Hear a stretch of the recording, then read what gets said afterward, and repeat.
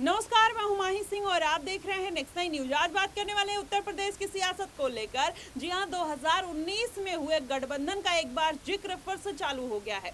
सपा और मायावती में जिस तरीके से एक बार फिर से होड़ देखने को मिल रही है, मायावती एक इल्ज़ाम लगाते हुए नज़र आई अखिलेश यादव को लेकर। जी हाँ अखिलेश यादव को लेकर मायावती ने यह कह दिया कि मैं गठबंधन किसी पार्टी से इसलिए नहीं करती हूँ क्योंकि हमारी जो मान सम्मान है, उसकी वैल्यू नहीं की जाती है। और अखिलेश यादव के साथ जब हमने गठबंधन किया था तो उन्होंने हमारा फ़ोन उठाना बंद कर दिया। हमारे कार्यकर्ताओं का फ़ोन उठाना बंद कर दिया, हमारे नेताओं का फ़ोन उठाना बंद कर दिया, जिसके बाद कहीं ना कहीं पूरा माहौल बदलता हुआ नज़र आया। जी हाँ इसके पहले आपको बता दें, कुछ दिन पहले जिस तरीके से राजेश चौधरी के बयान को लेकर कहीं ना कहीं अखिलेश यादव मायावती के समर्थन में उतरे थे, भारत बंद के मामले में मायावती के समर्थन पर उतरे थे। कहीं ना कहीं मायावती की डिग्निटी बचाने के लिए अखिलेश यादव समर्थन में उतरे और फिर मायावती का इस तरीके का बयान आ जाना कहीं ना कहीं इस बात की तरफ़ संकेत देता है कि मायावती वो सारी शंकाओं को दूर करना चाहती हैं, जिसको लेकर मीडिया में हो या फिर जनता के मन में हो खबरें आ रही थी कि मायावती अखिलेश यादव के साथ गठबंधन कर सकती है। मायावती ने एक बार फिर से अपना रुख स्पष्ट कर दिया है कि अखिलेश यादव के साथ वो गठबंधन क्यों नहीं करना चाहती और आगे भी ये गठबंधन नहीं करेंगे। लेकिन अब अखिलेश यादव की भी इस पर प्रतिक्रिया आई है। अखिलेश यादव ने कहा कि लोग अपनी कमियों को छिपाने के लिए इस तरीके के वक्तव्य इस्तेमाल करते हैं कि हमने उनका फ़ोन नहीं उठाया। पहले वो अपने गिरबान में झाँक कर देखे। अब इसमें सतीश चंद्र की भी एंट्री हो गई है और वो भी अखिलेश यादव के ऊपर हमलावर होते हुए नज़र आए। मायावती के साथ साथ सतीश चंद्र भी अब कहीं ना कहीं अखिलेश यादव के ऊपर धाबा बोलते हुए नज़र आए। वहीं अखिलेश यादव ने भी अपनी प्रतिक्रिया दे दी और मायावती को फटकार लगा दिया। लेकिन ऐसे में माना जा रहा है कि जिस तरीके से गठबंधन को लेकर, गठबंधन होने को लेकर खबरें आ रही थी। अब गठबंधन टूटने को लेकर कहीं ना कहीं मायावती और अखिलेश यादव चर्चा में बने हुए हैं। मायावती और आकाश आनंद की बात करेंगे। मायावती ने कुछ दिन पहले कहा था कि अगर पार्टी का आत्मसम्मान से कॉम्प्रोमाइज करना पड़े तो वो किसी भी पार्टी के साथ गठबंधन नहीं करेंगी, चाहे पार्टी कितनी भी बड़ी मुसीबत में है। यही बात एक बार फिर से वो करते हुए नज़र आ रही हैं।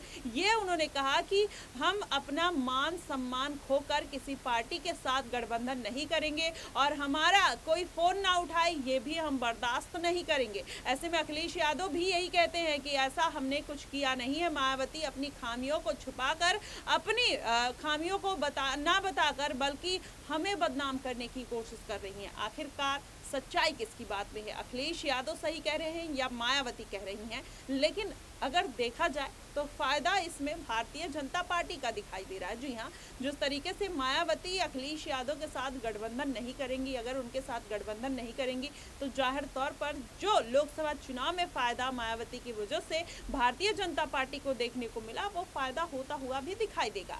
लेकिन ऐसे में अगर सभी समीकरण की गुत्थियों को सुलझाया जाए तो कहीं ना कहीं इस बात की तरफ़ एक अंदाज़ा लगाया जा सकता है कि आने वाले दिनों में विधानसभा चुनाव में अभी भले ही ये सियासी हड़कम मचा हुआ है। लगातार कहीं ना कहीं सपोर्ट करने का दौर चल रहा था। फिर अब इस तरीके की खबरें आने का दौर चल रहा है। तो कहीं ना कहीं ये उठा पटक तो चलती रहती है, लेकिन क्या वाकई में जिस तरीके से आकाश आनंद कहते हुए नज़र आए कि अगर पार्टी को ज़रूरत होगी, पार्टी का जनाधार बचाने की ज़रूरत होगी तो ज़रूर वो किसी के साथ गठबंधन में जाएँगे, लेकिन अपनी शर्तों के साथ।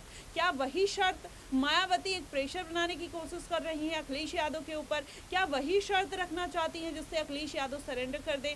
लेकिन उसके साथ ही अगर देखा जाए तो मायावती जब राजेश चौधरी को लेकर अखिलेश यादव सपोर्ट करते हुए नज़र आए, मायावती एक बार धन्यवाद देती हैं। उसके बाद तुरंत फिर एक और मुद्दा उठा देती हैं, दो जून उन्नीस सौ बानवे, गेस्ट हाउस कांड का।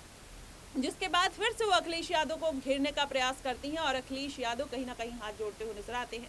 लेकिन एक बार मायावती ने फिर से कहीं ना कहीं अखिलेश यादव को पिन करने का काम किया है और अब अखिलेश यादव भी अपनी भड़ास निकालते हुए नज़र आ रहे हैं। मीडिया के सामने तमाम बयानबाजी करते हुए नज़र आ रहे हैं। देखना ये होगा कि क्या आने वाले दिनों में वाकई में इनका गठबंधन टूट जाएगा। ये जो आरोप प्रत्यारोप लगाए जा रहे हैं, उसमें कितनी सच्चाई है? क्या भारतीय जनता पार्टी की तरफ़ मायावती का झुकाव देखने को मिलेगा? या लोकसभा चुनाव की तरह ही अकेले ही चुनावी तार ठोकते हुए नज़र आएँगी? क्योंकि अगर इस समय मायावती, अखिलेश यादव के साथ या भारतीय जनता पार्टी या किसी और पार्टी छोटे छोटे दलों के साथ गठबंधन नहीं करती है तो उनकी मुश्किलें कहीं ना कहीं चंद्रशेखर आज़ाद रामन बढ़ाते हुए नज़र आएँगे। और क्या अगर अखिलेश अखिलेश यादव का सपोर्ट आज़ाद को मिल जाएगा।